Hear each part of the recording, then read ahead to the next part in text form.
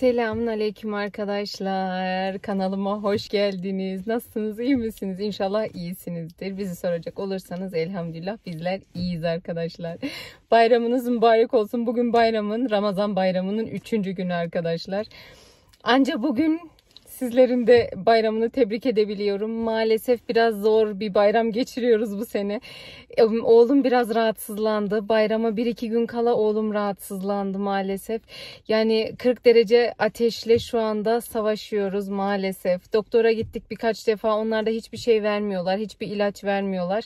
Yani anca ateş düşürücü ilaçlarla onu ayağa kaldırmaya çalışıyoruz. İştahı bayağı kesikti. Allah'tan dünden beri onun da iştahı biraz daha iyi. Ona mutluyuz biraz. Yani süt içiyor ama sütün haricinde başka hiçbir şey maalesef içiremiyoruz, yediremiyoruz. İştahı bayağı kesik. Şimdi bugün fark ettim ağzının içinde bakteri oluşmuş yani iltihap oluşmuş. Herhalde Mundfoyle deniyor. Türkçesi ne bilmiyorum ama kızım da bu yaşlardayken birkaç defa olmuştu. Şu anda herhalde oğlumda da aynı problem var. O da daha çok ateşle geliyor. Ve maalesef doktorlar ona da hiçbir şey vermiyorlar. Onun için şimdi bayramın ilk günü gece bayağı 40 dereceyi ateşi gördükten sonra sabaha kadar hiç uyumadık. Sabah hemen kalktım. Doktorun açılma saatine hemen doktora götürdüm onu. Doktorda dediğim gibi boğazında ve kulağında kızarıklıklar var. Yani iltihap olmuş dedi. E, çok abartılacak derecede değil ama yani ateş yapabilir bu yaştaki çocuğa dedi. Öylelik sıra oradan da bir sonuç alamadan eve geldik geri. Ama kızım çok şeydi çok hevesliydi bayramın ilk günü bayramlaşacağız falan. Annemler de Türkiye'ye gidince biz kaldık öyle gariban gariban. Dedik neyse en azından babaannemlere gidelim. Zaten her bayramımızı babaannemlerde geçiriyoruz. O gün hazırlandık sabah artık. Çocukların bayram hediyelerini verdik. Onlar bayram hediyelerini açtılar falan. Öyle biraz mutlu oldular. Babaannemlere gittik o gün. Bütün gün babaannemlerde vakit geçirdik. Halamlar falan, amcamlar hepsi varlardı. Diğer kuzenlerimiz onlar gelemediler. Korona olmuşlar. Öylelik süre yani kendi aile içerisinde aramızda bayram kutladık o gün. Çok şükür gene güzel geçti. En azından çocuklara bir değişiklik oldu. Oğlum o gün orada da bayağı kötüydü. O bütün günü uyuyarak geçirdi maalesef ama tabii kendi evimiz gibi olunca yatak her şey var. Artık onu öyle biraz kucağımda biraz yatırdım, uyuttum derkene günü öyle geçirdik bayramın ilk gününü. Bugün dün de dedik fazla ona şey olmasın. Hiç başka hiçbir yere gidemedik maalesef. Bu arada ailemizden de gidemediğimiz herkesin bayramı mübarek olsun. Türkiye'deki akrabalarımızın hepsinin, bütün Müslüman aleminin bayramını tebrik ediyorum arkadaşlar. İnşallah herkes çok güzel, çok e, dolu dolu bir bayram geçirmiştir. Ramazan bayramı geçirmiştir. Tabii daha şimdi vücudumuz alışmaya çalışıyor. Bir ay oruç tuttuktan sonra şimdi tekrar yemeğe alışmaya çalışıyoruz. Daha o bir ayına oturamadı yani. İnşallah Allah'ım herkese sağlık, sıhhat versin. Yani bizim evimizde şu anda durumlar bu. Kızım okula gidiyor. Pazartesi gitmedi. O bayram tatili yaptı o da pazartesi günü. Öylelik sıra onu da göndermedik okula ama pazartesiden sonra işte dün bugün hep okula gitti o. Sabahtan gidiyor öğlene kadar. Babası onu alıp geliyordu. Şimdi bugün Bilemiyorum ne oldu. Eşim tutturdu. Bir Kriste git diyor. Kriste bizim burada arkadaşlar çarşının içerisinde bir takım mağazası. Oraya bir git diyor. Ya diyorum ne yapacağım ben orada? Ya sen bir git. İyi tamam ne yapacağım? Ya bir git. Sabahtan beri kaç defa.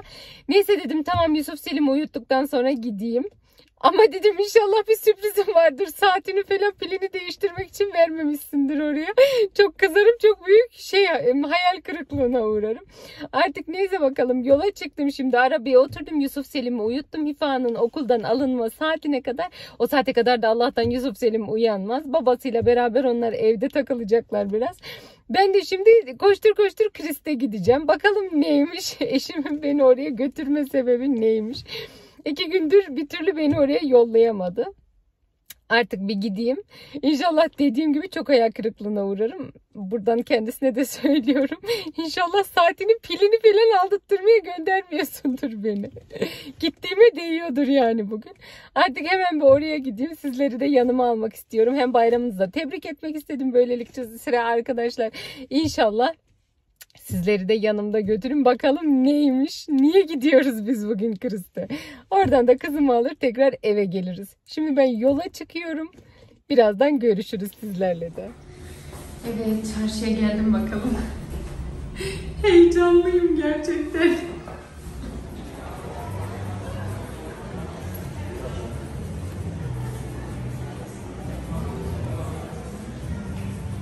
Hadi bakalım girelim.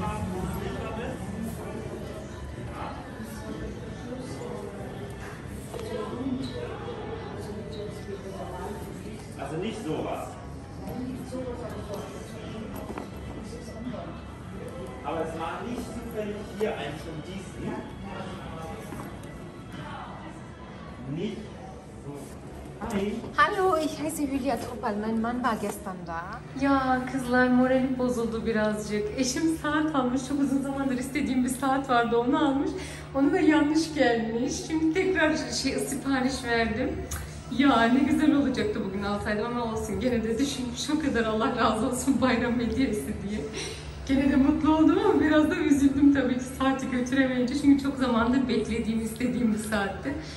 Neyse artık hayırlısı diyelim. Ben şimdi hemen eve gidiyorum. Bir iki de e, Müla'dan ihtiyaçlarım vardı. Onları aldım. Şimdi hemen eve gidiyorum. Çocuklar uyanmadan ifade okuldan alacağım. Hadi bakalım şöyle gidelim. Evet şimdi arabamı nereye park etmiştim ben. Bir de öyle bir sorun var ya arabamı bulamıyorum bazen.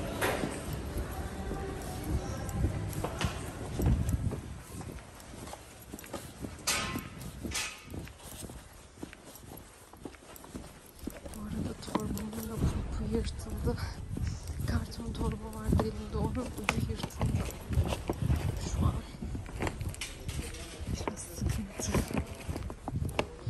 Şöyle tutayım da elimdekiler düşecek şimdi. Hah. Evet, arabam gözüktü.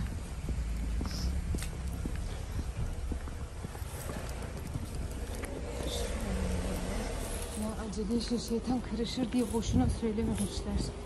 Park şeyini ödemeyi unuttum. Park kartını ödemeyi unuttum. Şimdi tavanlara kuvvet hemen geri dönüp onu bir ödeyeyim ondan sonra da çıkacağım inşallah bugün burada.